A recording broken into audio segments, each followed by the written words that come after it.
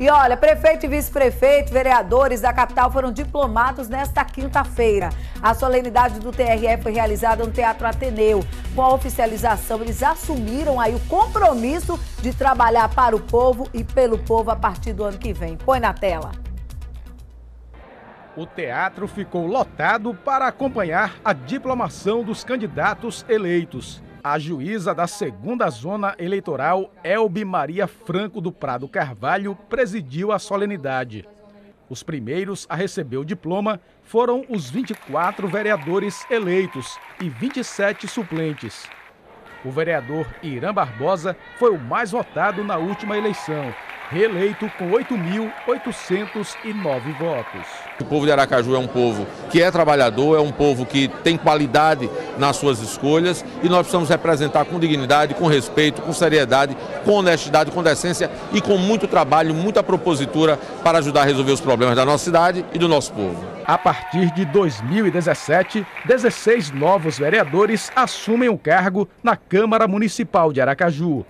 Entre as novidades estão o Cabo Amintas, Isaac, Kit Lima, Emília Correia e Alexandro da Conceição, o palhaço soneca. As minhas prioridades vai ser a saúde, a segurança, a educação, né? Em especial a cultura porque a cultura aqui de Aracaju, infelizmente, está sucateada. E eu quero dizer ao povo de Aracaju que eu chego assim com vontade de fazer exatamente o que eles esperam: dedicação, honestidade, trabalho, compromisso e sensibilidade às questões de Aracaju. A gente sabe da responsabilidade que a gente tem agora, né?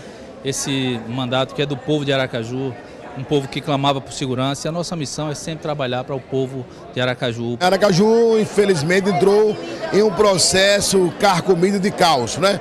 Então, primeiro, fazer voltar à normalidade aquilo que cabe à administração municipal. A gente quer ver um Aracaju novo, um Aracaju com esperança, um Aracaju melhor. Então, estou vindo cheia de vontade, cheia de energia, uma renovação muito grande para a gente fazer cada vez, é, é, é, trazer mais esperança à população. Depois foi a vez do prefeito eleito Edivaldo Nogueira subir ao palco para receber o diploma.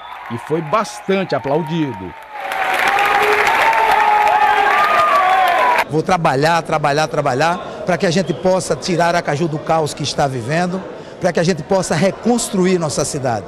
A última a ser diplomada foi a vice-prefeita eleita Eliane Aquino. A gente sabe da responsabilidade que nós temos com a população de Aracaju, com o momento financeiro que, que a Prefeitura Municipal de Aracaju está vivendo, mas ao mesmo tempo nós temos muita esperança e muita certeza de que faremos o melhor com a diplomação, a Justiça Eleitoral reconhece que os eleitos estão aptos a assumir o cargo.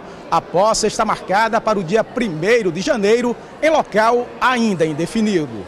Os eleitos e agora diplomados têm uma missão é, social e institucional relevante é, as promessas estão aí, os eleitos aí querendo uma cidade melhor, todo mundo quer, o que nós também queremos, é o que a população quer.